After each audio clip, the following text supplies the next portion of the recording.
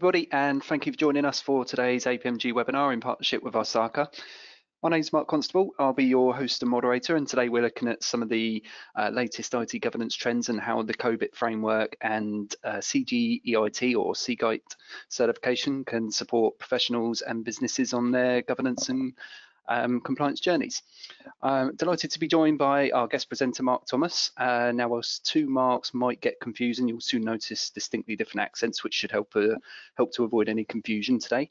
Uh, so a little about a little bit about Mr. Thomas. Mark is a governance, risk, and compliance expert, specialising in information assurance, IT strategy, and service management, with nearly 30 years of professional experience across a range of industries and sectors.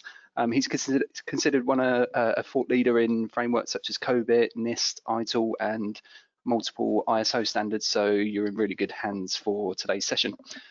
Before I hand over to Mark T, bear with me a few more moments while I cover a little housekeeping. So the first point to note is we are recording the session today uh, and everyone that's registered will receive a follow-up email uh, not too long after the webinar once we've got the recording and slides online. Uh, secondly, you can submit questions at any point. So on your GoToWebinar control panel, you should see an option where you can type in questions and they'll come through to me. I'll be keeping on our nose as we go and we'll address as many as we can towards the end. Uh, and last but not least, your feedback is uh, most welcome. So positive or negative, that really helps us when it comes to planning and delivering webinars in the future. Okay, that's all from me until we get to questions. So Mark, great to have you with us again and it's over to you, sir. Great. Thank you very much, Mark. And thank you for everybody for joining. This this is an exciting topic for me uh, because you know what's happening is, you look at your Twitter feeds, you look at LinkedIn, you look at uh, articles out there, and, and why is it that organizations wait until they hit the news before they suddenly have this newfound priority to somehow implement governance. Now, this is not an overnight project for you, nor are you ever really done implementing governance, right? It's an ongoing thing. So those are some of the things we'll talk about here coming up.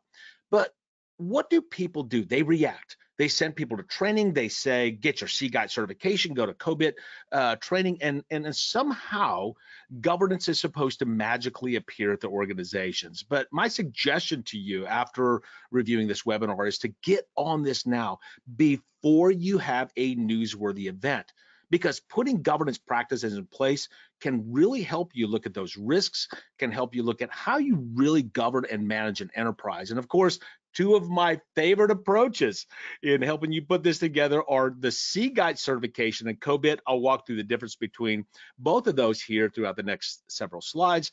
And there are a lot of connections between these things, and I'll show you what those are. So learning objectives very quickly. Again, we're talking about the link between CGEIT, which is certified in the governance of enterprise IT, one of what we call the core four at ISACA, and it happens to be one of my favorite certifications. And so what we'll talk about here, of course, is what is governance. We have to really understand this difference between governance and management, and of course, avoiding framework fatigue. You do not do a one and done when it comes to adopting uh, enterprise governance frameworks, so we'll talk about that with COBIT. Of course, how you get the knowledge, skills, and abilities, and then the last part that I really think you'll like is what's in it for me. Uh, so if you're if you are currently a CGEIT or if you're considering going down that path, what could COBIT actually do to help you out? There's a couple of perspectives here. One is again, CGEIT is framework agnostic, but do I think the COBIT framework will help you prepare for the exam? Sure it will. But will COBIT as a framework help you employ and deploy the practices and the tasks that the CGEIT designation suggests? Absolutely. So what you're going to have is a awesome download at the end of this webinar with tips and tricks and what I like to call my CGEIT and COBIT hacks.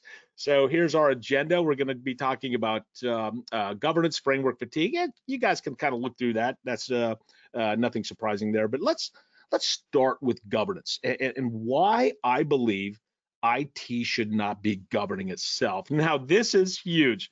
If you take a look at this, this is this is what I experience in a lot of organizations. If you look over here on the left-hand side, on the left-hand, whoop, uh, skip slides. On the left-hand slide side, you see a governing body that says, "Hey, we're the governing body. Why isn't IT following the rules?" And then over on the right-hand side, you have IT sitting down here saying, we have no clue what the governing guidance is. There's, so there's always a disconnect when you when you look at communication, when you look at the different committees and boards and those types of things uh, that that will govern an enterprise. So the reason I say IT should not govern itself is because of this. Number one, if you tell me in IT I need to govern myself, what you've just told me is that I need to make up my own rules and I need to determine which of my own rules I choose to follow. And finally, I need to determine the consequences for those rules that I choose to break. Therefore, IT should not be governing itself. And so what is governance really all about? So when we look at kind of core concepts of enterprise governance of information and technology, you see EGIT here. Now you see a lot of different versions. You see enterprise governance of IT, you see governance of enterprise IT, which is part of the CGEIT, and you see IT governance. For the purposes of this webinar, we're going to we're going to assume they're really the same thing. But remember, no matter where you are in an organization, there will always be some type of governing body above you, and that governing body should be concerned with these areas. One is we need to make sure that our stakeholder needs are met through three things benefits realization, which says, are we doing what we said we'd do? Risk optimization says, are we making informed decisions? And resource optimizations. Are we properly balancing the supply and demand of our resources? And that's not just people, there's several other areas here. So previously in, in our industry, governing boards and senior management, they could delegate, ignore, or even avoid IT related decisions. But because of the big push for digitized enterprises, it's increasingly dependent on information and technology for our survival and growth. So stakeholder value is driven by a high degree of digitization in these new business models, efficient processes, innovation, high velocity IT, and those types of things. So a couple other points I want to make on governance before we jump into uh, some of our principles. Like we mentioned before, EGIT, GEIT, and IT governance for the purposes of this presentation, I'm going to call it IT governance. But what this says is there's a distinction between the two, like I said before when we say there's a distinction. Now, formally, we used to say there was a separation, but here's here's my here's my advice to you. Wherever you are in an organization, know which governing bodies are guiding you. So, as a CIO of a major organization, my governing bodies were the board of directors and the executive steering committee. But if I'm a project manager in an organization, who are my governing bodies? Because somebody has to set the rules right? And identify those areas in which I'm supposed to manage myself within. So in those cases, the governing bodies for project manager could be, say, a project steering committee, project review board, those types of things. Another thing we'll talk about as we walk through this is the distinction between a governance system and a governance framework. And then, of course, like we said before, who are your governing bodies? Know the governing bodies that are setting the rules in which you need to manage yourself. And here's one of the things that I see in a lot of organizations is there are multiple governing bodies. You've got boards, committees, uh, and, and so on, and they and they all set policy. But one of the things that we see is the policies and rules that each of those governing bodies set sometimes will contradict another one of those boards or committees.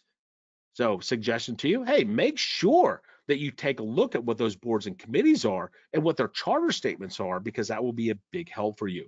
And we're jump we're going to jump into the CGEIT and uh, and COBIT stuff specifically here in just a little bit. Now, a lot of people in high velocity environments say, well, there's no need for governance systems. Well, that is that can't be further from the truth because in a high velocity system where you may be doing agile or even some of the more uh, DevOps approaches, we still have a set of rules, but we're decentralizing some of the decision making. But I still want to make sure we have control over those systems. So therefore, let's talk about governance system principles. What you're looking here comes straight from COBIT. So in a governance system, really, which is what CGEIT is focused on, there are some principles that we need to be concerned with. One is stakeholder value, right? We need to make sure that that system satisfies our stakeholder needs, like we mentioned earlier and we need to make sure that we're generating value from the use of and the investment in information and technology. We have to have a holistic approach. That governance system is built from a number of components. These are what we used to call enablers in earlier versions of COBIT. We'll show you that in a few minutes. We have to have a dynamic governance system, right? Which means that each time one or more of my factors change, for example, a change in strategy, technology, or threat environment, this could have an effect on my governance system. So gone are the days where we create a governance system and it stays the same for years because the environment's changing, our internal attributes are changing, cultures are changing, and we need to make sure that governance system supports that. As we mentioned earlier, governance is distinct from management, and we tailor that to our enterprise needs, which means, which basically means we're using these things called design factors. And I'll talk about those here just a little bit. Finally, end-to-end governance system, we should cover the enterprise end-to-end, which means there should be something in this for everybody.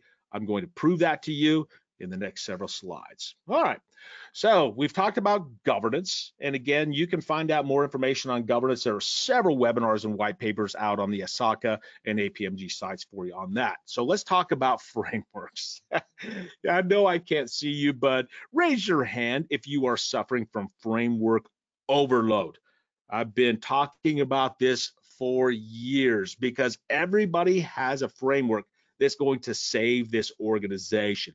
So when we pick a framework, right, and multiple frameworks, you've got COBIT, you've got ITIL, you've got TOGAF, you've got multiple ISO standards, NIST, and so on. Some things to think about.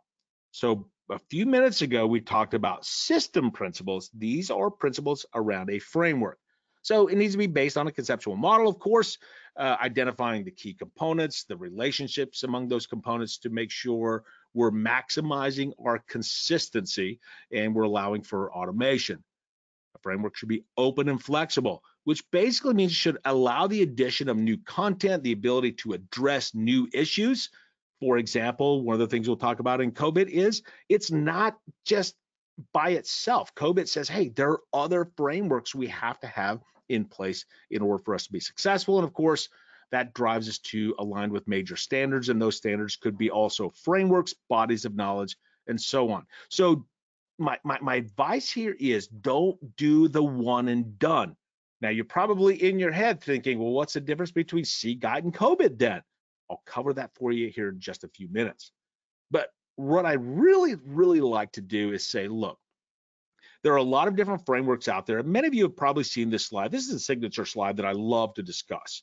Um, and by the way, what you're looking at right here, CGEIT covers this entire slide, but COBIT is a framework that enables and allows me to implement those tasks and activities. So at the enterprise level, we're of course at, looking at the balance between performance and conformance. On the performance side, we're looking at the balanced scorecard and conformance. An example would be COSO.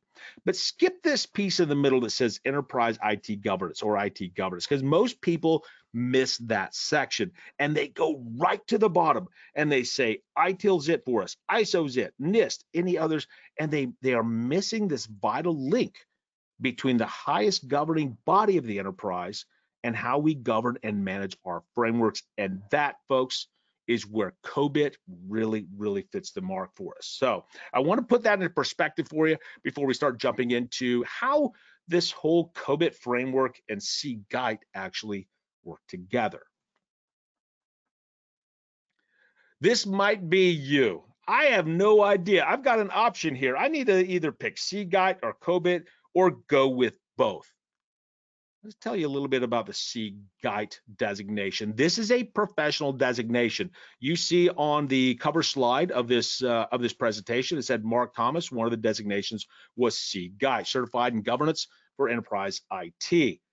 It helps you understand how you manage, how you govern enterprise governance, and it prepares you for governance or management roles in the enterprise. And one of the things that I see is people say, well, CGEIT, that's a governance related type of uh, designation. Well, I will tell you, just like COBIT, there is something in CGEIT for everyone. Don't just think this is focused on a board level. It's for anybody whether you're management, whether you are individual contributor, there's something in this for you. And I want you to be aware of that because folks, I will tell you, and I mentioned this before, CGEIT is one of my favorite certifications that I hold today. Now, let's contrast that with COBIT. Well, COBIT is a framework where CGEIT is a professional designation. COBIT is a framework that now helps me adopt and adapt these governance and management objectives. It helps me put things in place. It can also assist you in preparing for the CGEIT exam. Please don't walk out of this webinar thinking that if you know COBIT end to end, you'll pass the CGEIT exam. I'm not saying that. I'm saying CGEIT as a professional designation, many of the things that we have in that are supported by COBIT. I've got a mapping for you in the next several slides to show you my perception of how that mapping comes together. So let's take a look at the difference between these things. Of course, certified the governance of enterprise IT over on the left-hand side. It is framework agnostic, even though I'm trying to influence you to think about COBIT, it is agnostic. There are multiple framework standards, bodies of some knowledge that were used uh, to help us create uh, the tasks, knowledge statements, and the domains for CGEIT, as well as COBIT. Now it's a professional designation. It addresses multiple roles in the enterprise. This is what I wanted to tell you earlier is you do not have to be a uh, a board director or a board member for CGEIT to be uh, valuable for you. It doesn't matter where you are. You can apply this to the ecosystem in which you work. Now, CGEIT is broken out into what we call domains, tasks, and knowledge statements, and I'll share those with you in, in the next slide. So it's a designation on the left. On the right, we said that's a framework. Framework for the governance and management of enterprise information and technology. COBIT 2019 is the latest and the greatest uh, framework uh, for this. Uh, to my knowledge and my professional ability, I can tell you this is the only framework that does this in our industry today.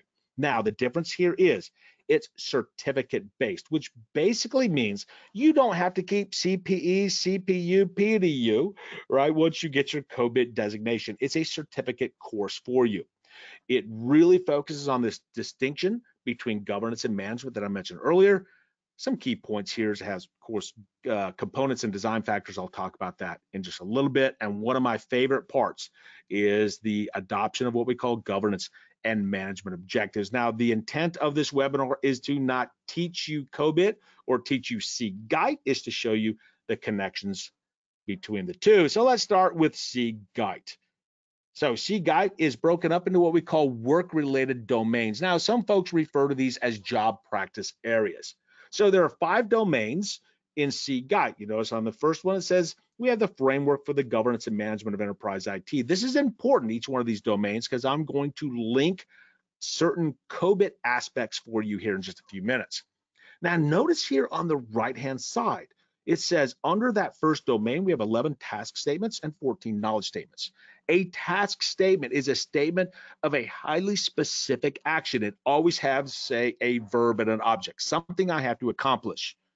A knowledge statement is a specific skill or ability that you might have in your toolbox that might be required to accomplish those tasks.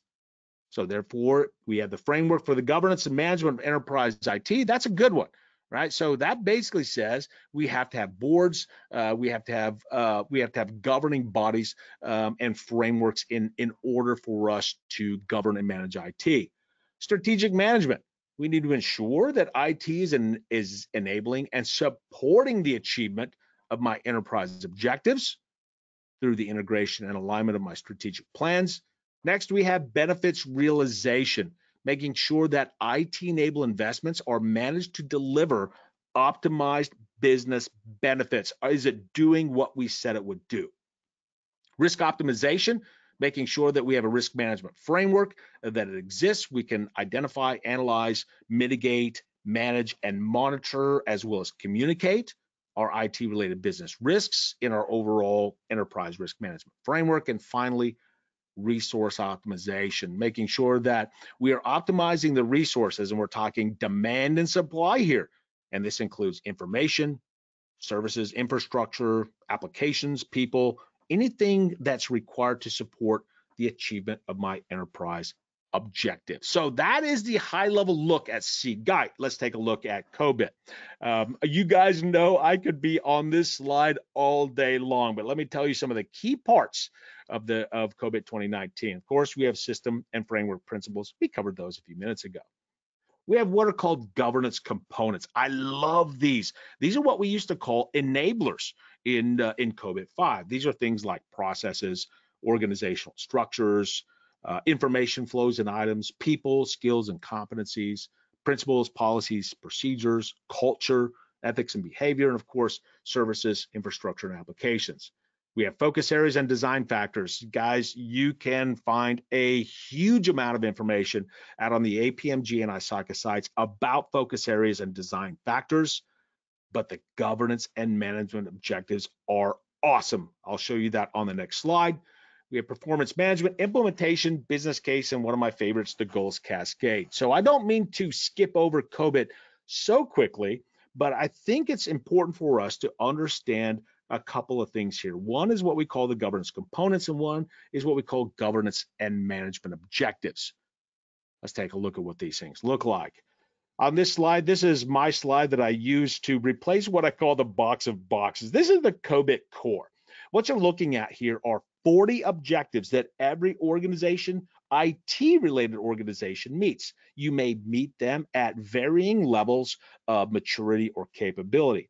If you are looking in the COBIT documentation, you might recognize this as the box of boxes. It's a big blue screen with a bunch of white boxes in it that has this distinction between governance objectives that you see on the left-hand side. Those are EDM 01 through EDM 05. Now, those are objectives that a governing body should meet. That does not mean you have to be the board of directors. It means if you are a governing body, those are the things, the objectives you need to meet. To the right, we have management objectives. I want you to make a note to earmark this slide. Why is that?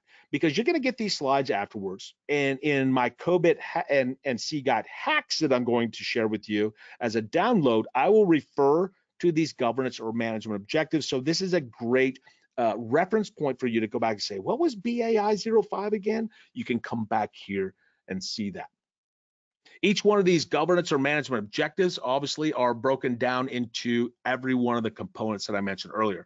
They're broken down by process uh, with organizational structures and a RACI chart, uh, information inputs and outputs, and those types of things. So again, I'm not trying to put you through a COBIT class, but I need you to be aware of this before we jump into the next section that starts talking about the alignment between each one of these areas. Okay, remember we said earlier we have five domains in CGEIT. What you're looking at here is domain number one. What I did for you guys is this, is I took every one of the domains and I went through every one of those tasks and knowledge statements. And then I determined which parts of COBIT were the most applicable for that domain. So what does this do for you? Well, a couple things. One is if you are CGEIT and you are trying to adopt and adapt uh, an enterprise IT governance system, you can break this down by domain. And what I've done is said, here's where you look in COBIT to help you out. The second thing it could do for you is that let's say you're taking a CGEIT um, uh, certified exam. Will these parts of COBIT help you? They will help you, but remember, they're not going to answer every specific question for you. It's the framework that supports that. So in domain number one, I have to have a framework in place. And, and so we talk about that framework. Of course, the parts of COBIT that are relevant here, all governance system and framework principles that we talked about earlier, the design factors and focus areas, but here is what is awesome for you. Here are the example governance and management objectives that I feel are the most appropriate for this domain. Now, what you're looking at here, these uh, these alphanumeric uh, numbers with names, these come from the previous slide that I showed you that has the list of the 40 governance and management objectives. So in domain number one, which of the objectives seem to be the most appropriate based on my analysis, EDM 01, ensured governance framework setting and maintenance, which really looks at a very high level of how the organization provides a consistent approach that's integrated and aligned with enterprise governance. Next, you see APO01, Manage the IT Framework. it is kind of similar to EDM 01, but it's more management focused than it is governance focused. So it's making sure that we have a consistent management approach for the enterprise governance requirements to be met. APO2, managed strategy. This is supporting the digital transformation strategy of the organization and deliver the desired value through a roadmap of incremental changes. A huge one, APO3, managed enterprise architecture, represents the different building blocks that make up the enterprise and its interrelationships, as well as the principles guiding their design and evolution over time. And finally, you see down there MEA 03, Managed compliance with external requirements, which basically says ensuring that we are compliant with all applicable external requirements out there. Could there be more relevant uh, uh, governance or management objectives? Of course. I picked the ones that, to me, in my professional opinion, had the most oomph that could help you out on this side. So, of course, all governance components that we've talked about, and each one of those governance components within COBIT talks about relevant industry frameworks. Not surprisingly, those industry frameworks in COBIT look and smell just like the industry frameworks that we see in the CGEIT course.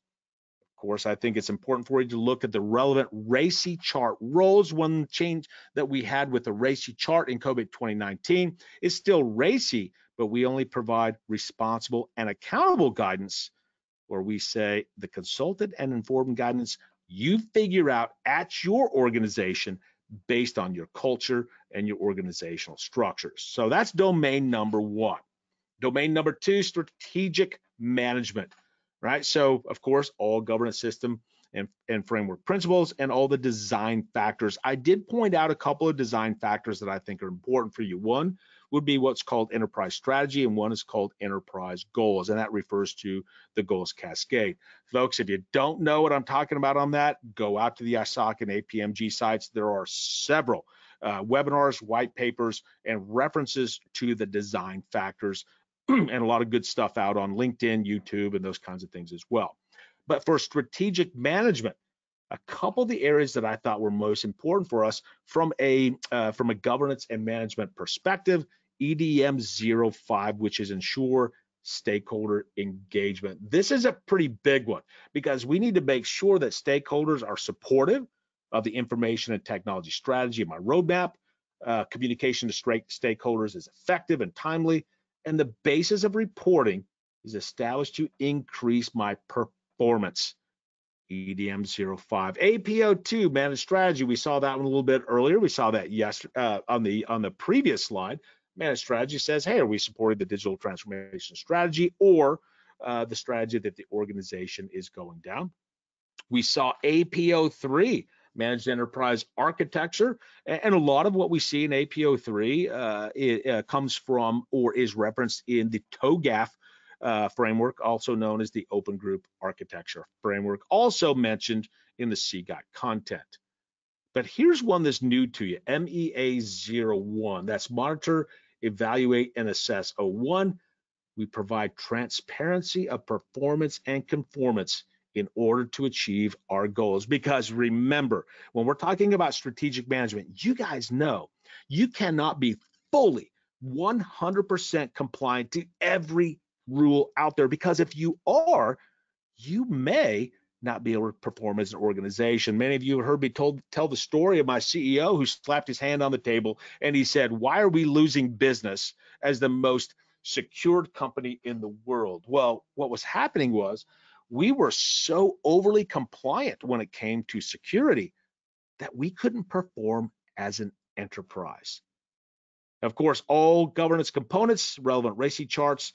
And one of the areas that I thought was really, really important here was in COBIT, we have what are called information flows and items, and those are inputs and outputs at the practice level. I think it would be important for you for this domain to understand those inputs and outputs because it would truly help you understand strategic management, all of the requirements and um, all of the inputs required in order for this domain to be successful for you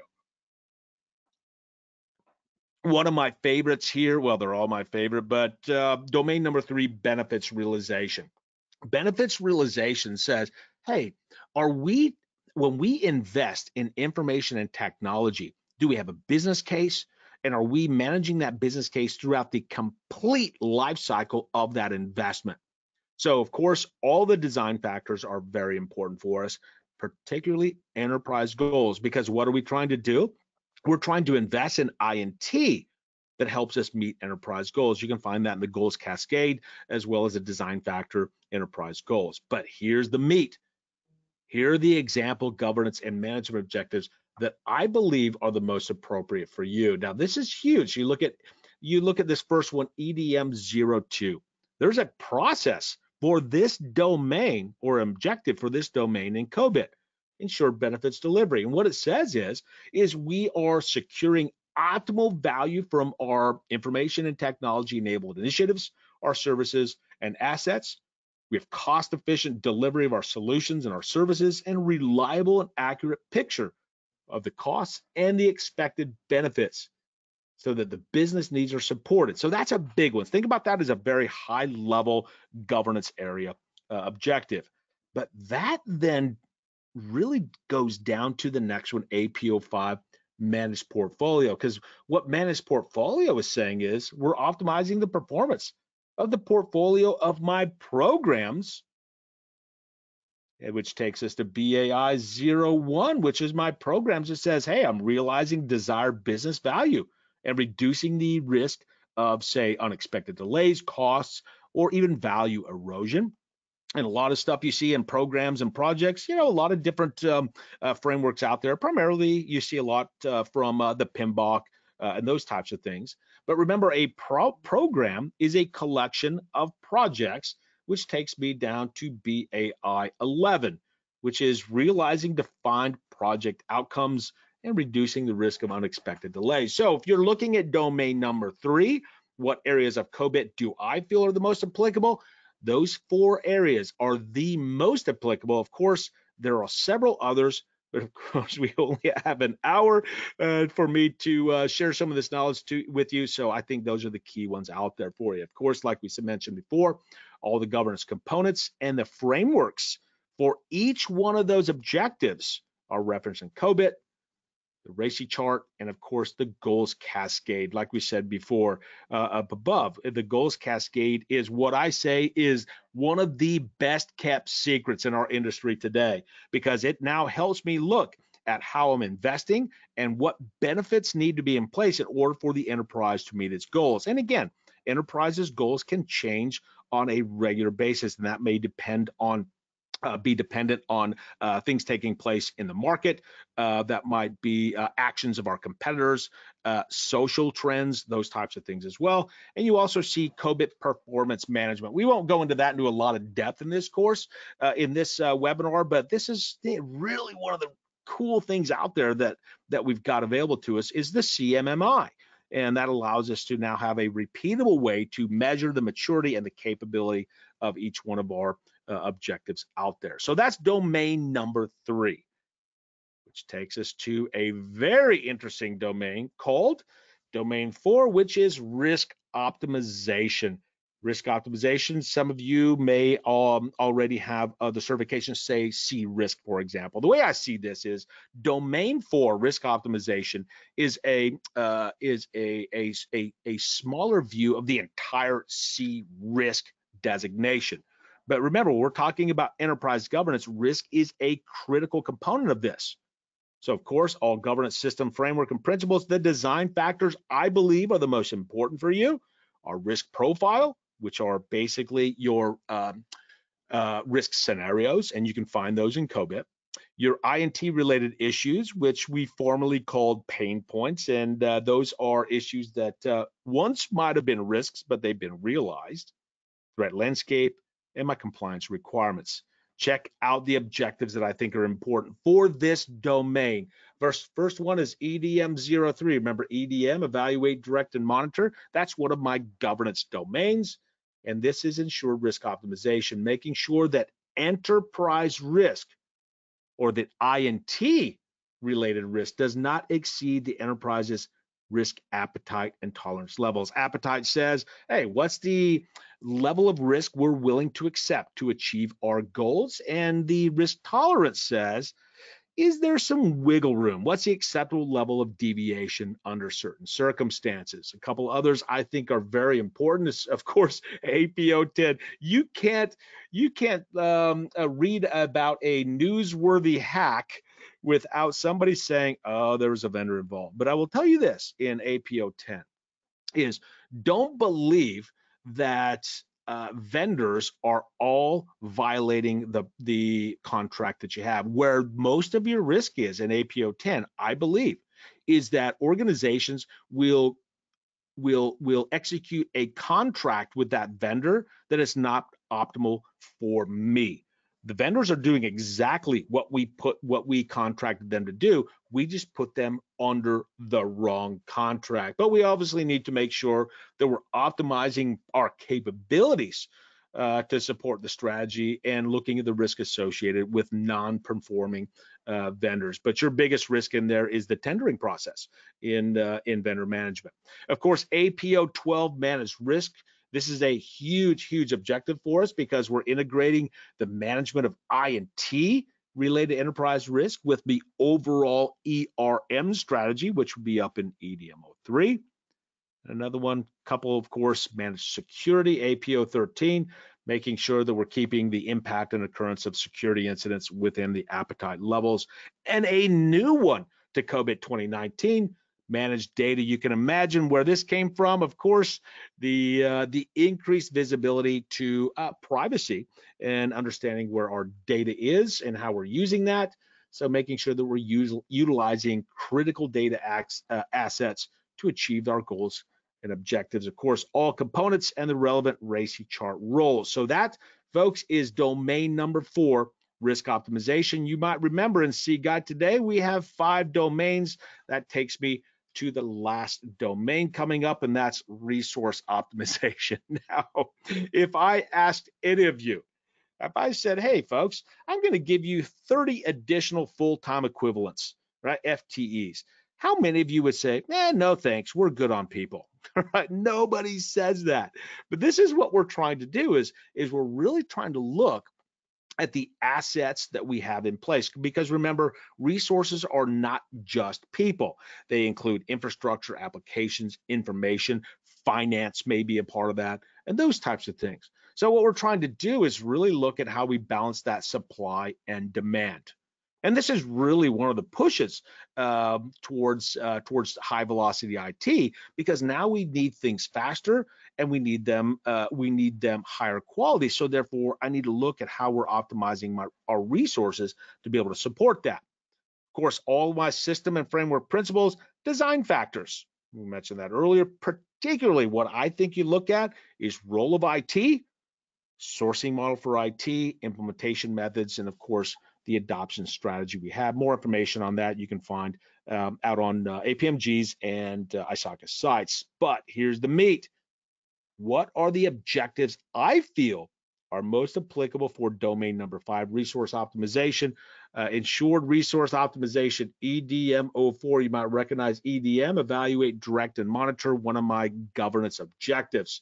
What this says is I'm ensuring that all resource needs of the enterprise are met in an optimal manner. I'm, I'm optimizing costs.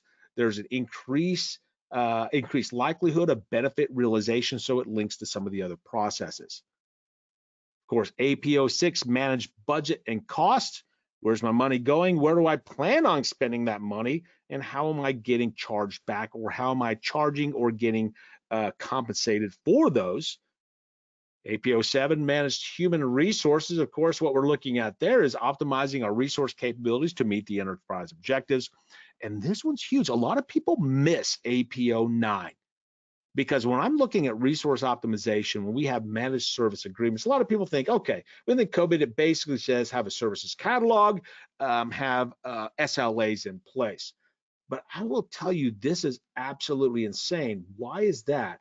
Because if you look at a service level agreement, we're ensuring that my service levels meet the enterprise needs. But in order for those service agreements to be met, I have to have resources in place. And by the way, some of those resources might come in the form of APO 10 managed vendors. And that goes back to that vendor piece on, on that one as well. But but I will say this is is I can actually link AP09 back to uh, the previous domain, which was re, uh, risk optimization. Uh, and I will tell you this is is my organization that I was a part of. I mean, we were solid security wise, but where our biggest risks were were service agreements. We were failing to meet our contractual obligations as a part of service agreements with our clients, and we were going out of business because of that. And nobody ever thought that managed service agreements was a huge, huge practice, excuse me, uh, objective in resource optimization.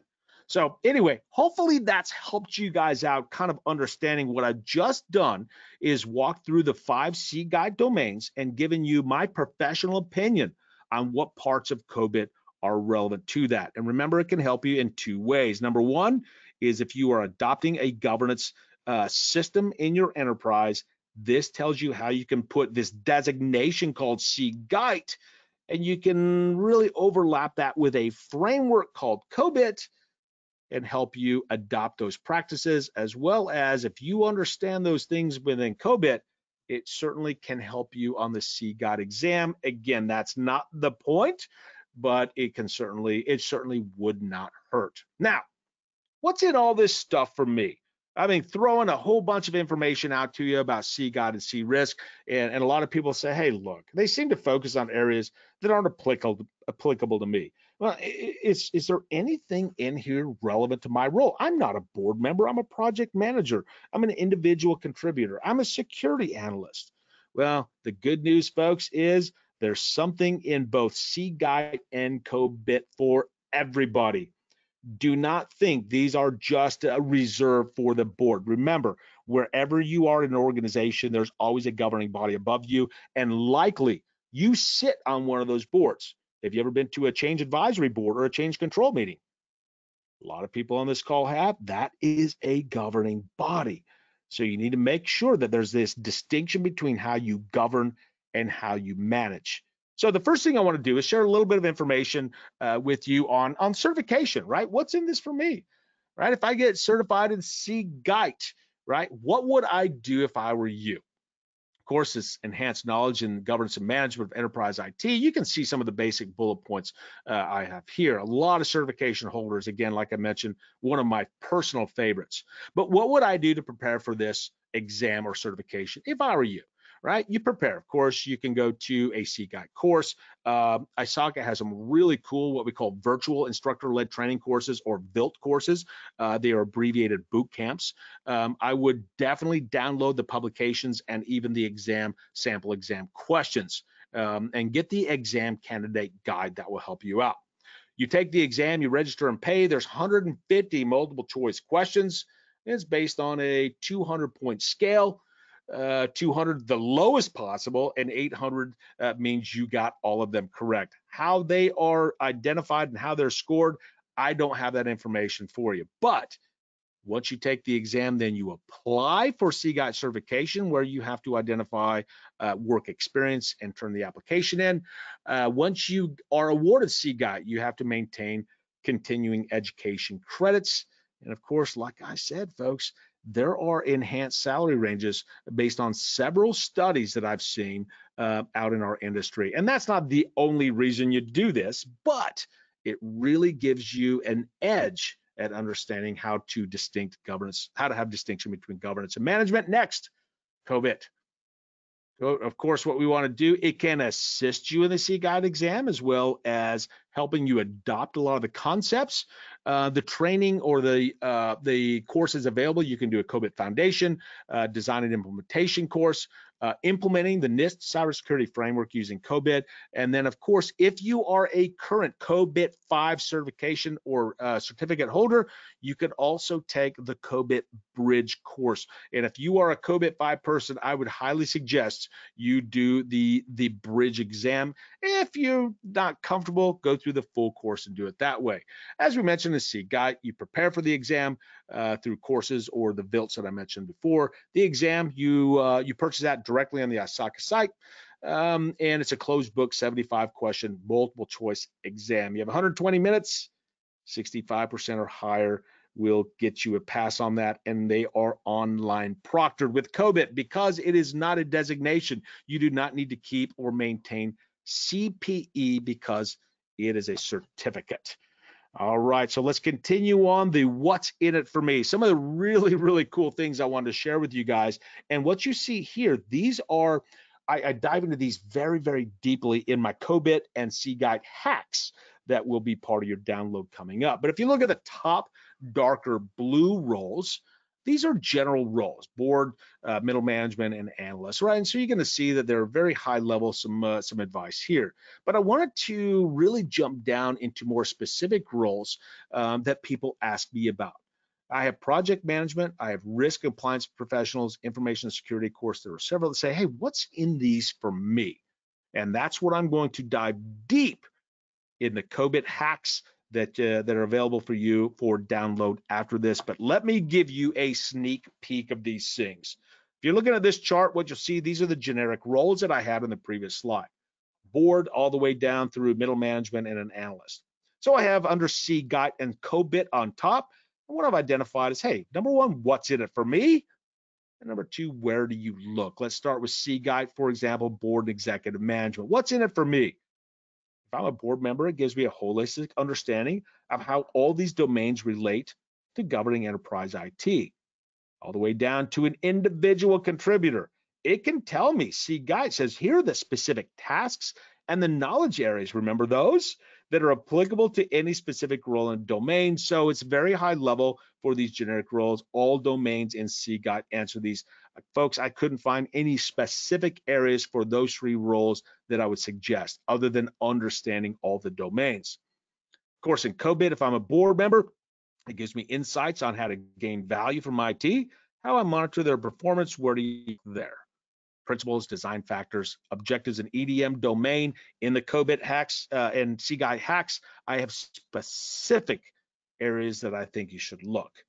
So that gives you kind of a high level look at what's in it for me from a generic roles perspective. And again, you'll have this information for you.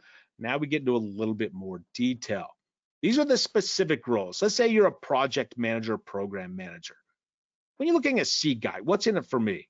This helps you understand how programs and projects fit into the overall strategic plans. Where do you look? Domains three, four, and five. Now we're getting some specifics.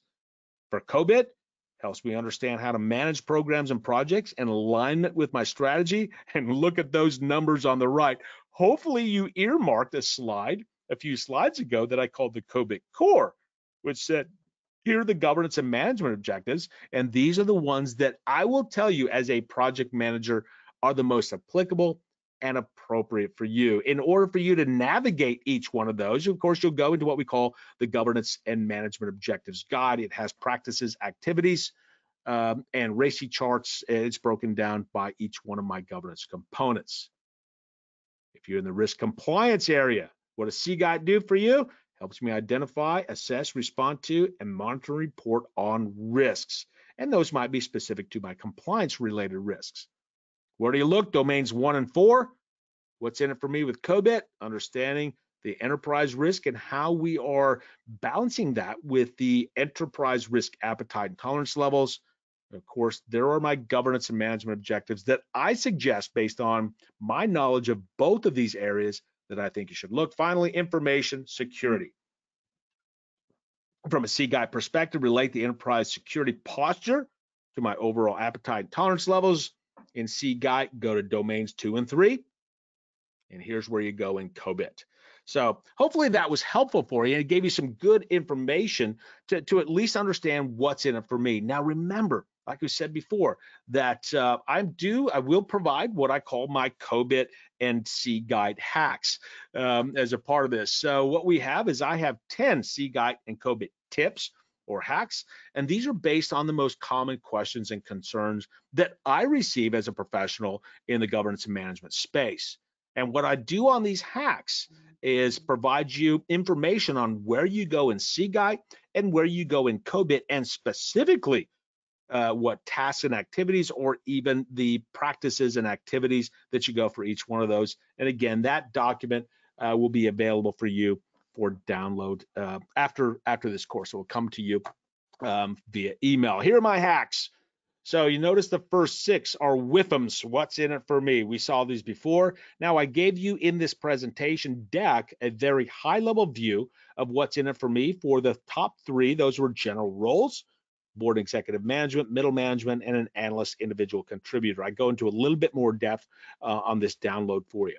But then it gets really deep. I take three specific roles, program project management, risk compliance, and information security. And I tell you specifically, if I were you, where I would go in CGEIT and where I would go in COBIT to help you create value for the enterprise. The remaining four are pretty common questions I receive. Hey, uh, using COBIT as a means of adopting a tailorable governance framework in your organization. Remember, the CGEIT is the designation that teaches me the knowledge, skills, and abilities.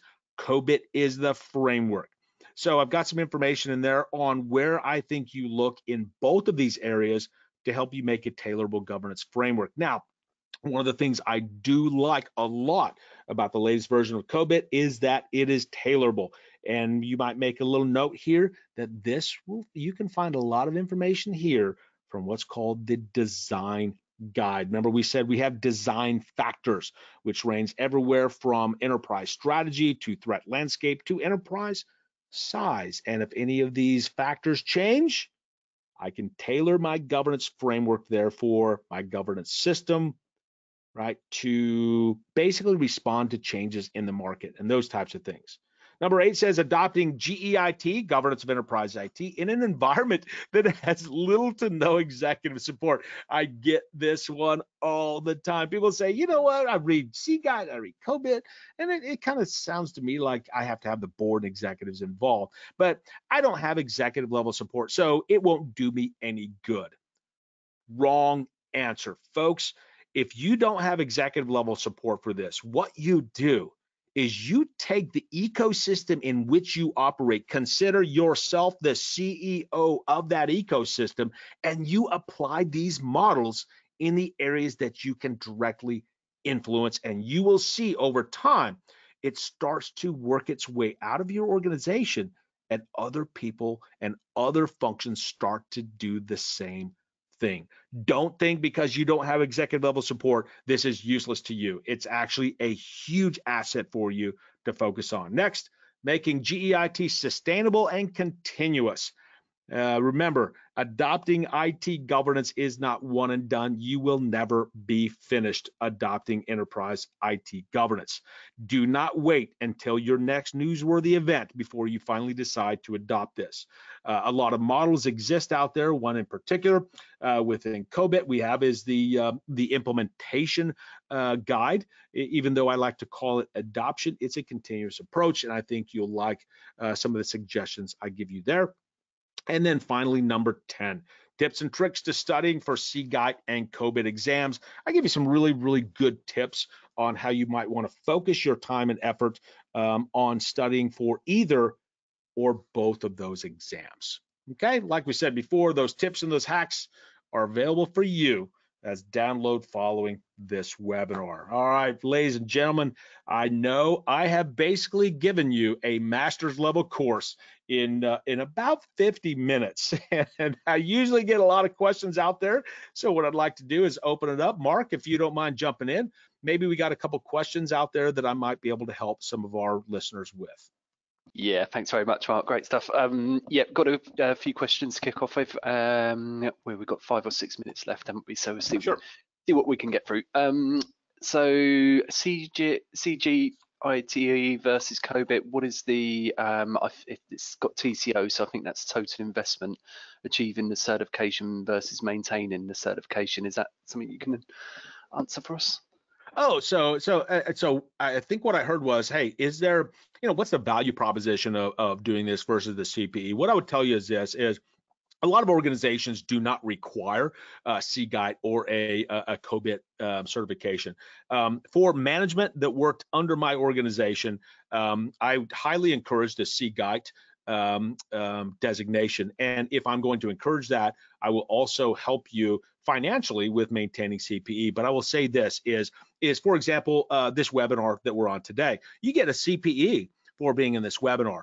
um, ISACA does provide a large number of webinars that are available to you that are not things that you have to pay for that uh, you can maintain your CPE. But I would tell you this is one of the things that's, that that I believe is is the most valuable is in order for me to maintain my CPE, I now uh, I consider going to different conferences and to seminars, uh, to local chapter meetings. So it, I, say, I hate to say it forces me, but it encourages me to to stay um, to stay engaged in my uh, in my craft, so that I'm constantly updating uh, my skills and abilities while um, gaining CPE, valuable CPE for that. So I would tell you that um, for me pers- specifically, and I'm, you know, again, I'm a consultant and trainer today, but even as a CIO and professional, I found that the cost benefit analysis, that the benefits far outweighed the cost because it allowed me to stay on top of what's going on with the latest trends out there. Cool, thanks, Mark. Um, participants ask, can one pass the CGEIT exam by just studying available materials? So I guess that's his, um, is, is training mandatory in other words, I guess. Yeah, eh, eh, you can. Um, and so you know when when when these designations came out, like CGEIT, there was a grandfathering that came out, but this is several years ago. Um, it depends on it depends on your learning style. Um, there are some folks who um, who can completely uh, read the uh, CGEIT publication um, and uh, and go through the uh, sample exam questions and have absolutely no problem with the with the exam. Um, but some folks learn differently, and the way I always really say it is, hey, I want you to understand this as opposed to just memorizing it. So if you understand it, a lot of times with the with the courses that you may go through, if you get an instructor that will share stories with you and link certain concepts uh, of Guide with the specific uh, learning objectives, it helps you understand so you can actually apply and relate that to things that you do today. So the short answer is, can you pass the exam without going through a course? Absolutely. Uh, what would I do if I were you? Of course, that depends on your financial means. I would definitely go through one of the uh, preparation courses um, and do your vetting on on who's teaching the course for you and and the you know because there are a lot of organizations that we see that are not accredited uh, organizations or accredited trainers, which is which is one of the things APMG helps us do is accredit trainers, so you know you are getting uh, uh, a trainer who understands the content and can link it to you. So you can pass it without, but I would suggest going to some type of uh, a preparation course. Again, depends on your learning style. Okay, thanks, Matt. Um, which professional guides are out for COBIT and which are the ones planned in the near future? Okay, so so right now at the launch of COBIT 2019, basically there were four uh, core publications for COBIT. We have the basically what I call the framework guide. Uh, we have the governance and management objectives guide, uh, the implementation guide, um, and then we have the uh, design guide. And and uh, those are the four that came out originally. So uh, what takes place is we do have what are called focus areas within COBIT. Um, I do know that ISACA is currently in the process of putting together these focus area guides. Um, think about these, if you're a COBIT 5 person, think about these as like the enabler guides we had. So it takes a certain area and dives deeper into that area.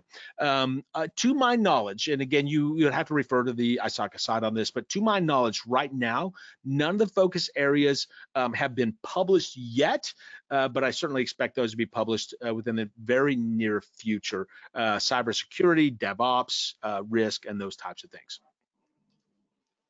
Great, thanks, Mark. Uh, and there's a couple of these questions are very closely related, so I'll uh, combine them somewhat.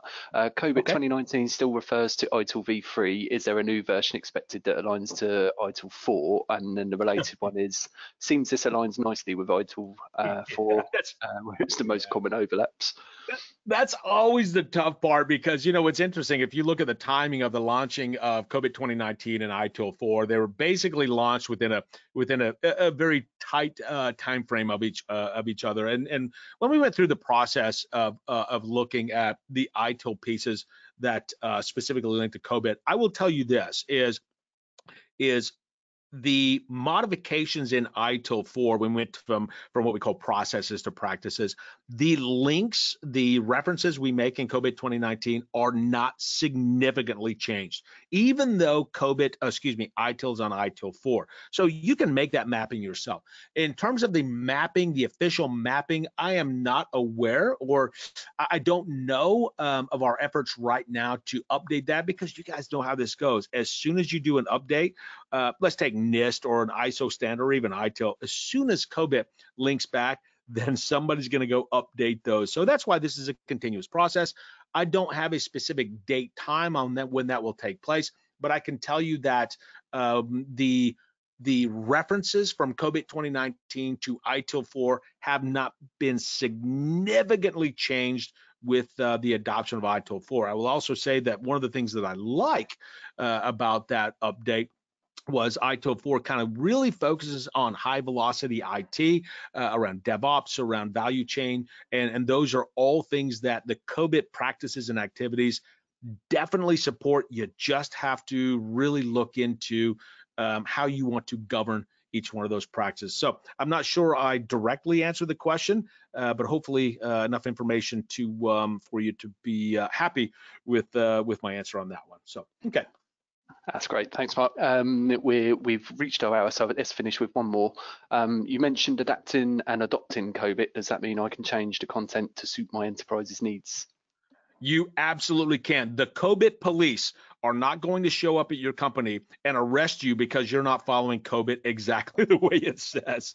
I can tell you, um, having probably more COBIT and ITIL adoptions than most people I know, I have never I have never copied and pasted the COBIT or ITIL guidance into my own organization without making some modifications to meet my needs. And that's the whole idea of a framework.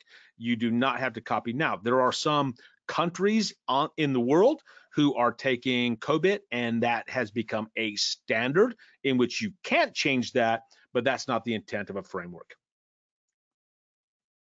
Great stuff. Thanks very much, Mark. Um, I think we better start wrapping up there. We've just creeped over our hour, so hope uh, hope folks will forgive us for that. Um, so to wrap up, we've got we've got a further slide, haven't we, Mark, with uh, a few links to to organisations and more information. We'll pop that up while we uh, while we close. There it is. All right, great. Yeah. Well, thanks everybody for joining. Uh, of course, this is a slide you want to you want to you know keep handy because, like I mentioned before, a lot of the things that you'll see out there, APMG International will post uh, out on the website. ISACA will as well. Of course, you see information uh, about me personally. Feel free to reach out to me on Twitter, LinkedIn, as well as uh, with ISACA and APMG. Valuable information out there for each one of you guys. So thank you very much, Mark. Yeah, thanks, Mark. Um, so that just leaves uh, just these thank yous really. So firstly, thank you everyone for attending. Um, do hope you found it useful and informative today. I'm sure you have. Um, and secondly, thank you, Mark, for your insight and expertise today's. Uh, great to, uh, teaming up with you as ever. Um, and last but not least, thank you to our partners at ISACA for their support for, to, for today's webinar too. Um, and what I would also mention, uh, I did mention at the start, but I think we had a few late joiners. There was a few questions about these uh, sharing the slides and the recording. Uh, just to remind everyone, we will be uh, sharing a follow-up email uh, fairly soon once we've got the recording and slides online. So, so we'll definitely make those available to you. Just look out for the follow-up email. Uh, so that's it, folks. Thanks again, everyone. Um, enjoy the rest of your day and the weekend ahead. Um, we hope to see you on future future webinars. Bye bye.